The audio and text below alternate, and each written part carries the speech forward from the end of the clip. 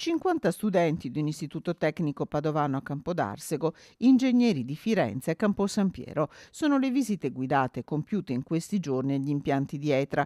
A Campodarsego gli studenti sono stati accompagnati nell'impianto di selezione di carta e cartone dove ogni anno vengono selezionate oltre 25.000 tonnellate di rifiuti cellulosici provenienti dalla raccolta differenziata del territorio con un recupero del 99%.